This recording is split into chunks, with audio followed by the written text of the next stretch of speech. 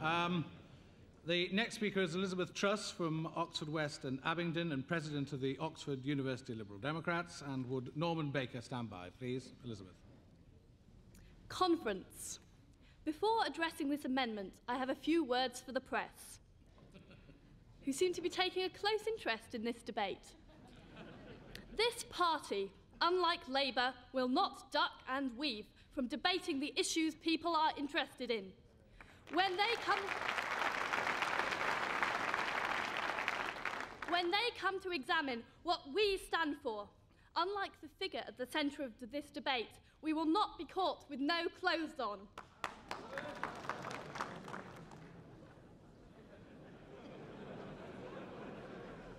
There are two main problems with this amendment conference. It does not give us a Dutch bicycling monarchy. In fact, the amendment does not change the position of the monarch at all. It does not allow women to succeed the same as it allows men to succeed.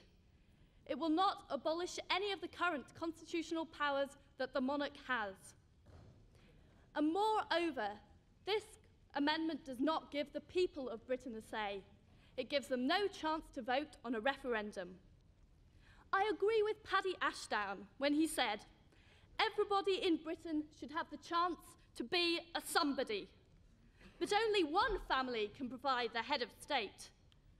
We Liberal Democrats believe in opportunity for all. We believe in fairness and common sense. We believe in referenda on major constitutional issues. We do not that believe that people should be born to rule, or that they should put up and shut up about decisions that affect their everyday lives. Do you, conference, believe that? Do you? I was being interviewed by Newsnight earlier this afternoon.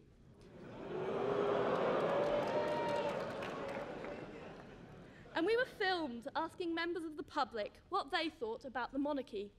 We came across a group of three people. I'd say they were around 50, 60, look fairly middle class, rather smart, in fact, rather reactionary, to be perfectly frank.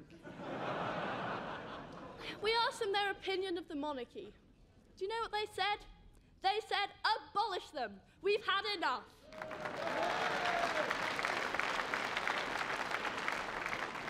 but believe it or not, conference, they didn't say this once.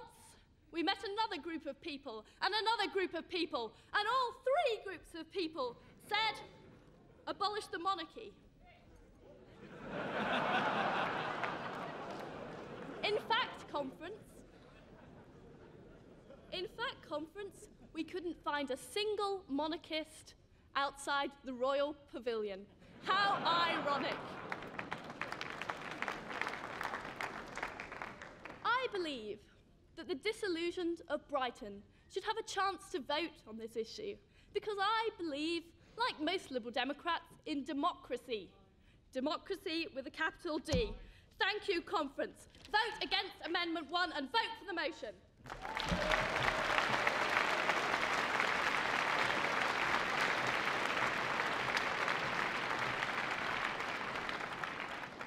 Thank you, Elizabeth. I like our party, don't you? Norman, uh, Norman Baker, if you'd come to the uh, rostrum, and will Helen Elsom stand by, please?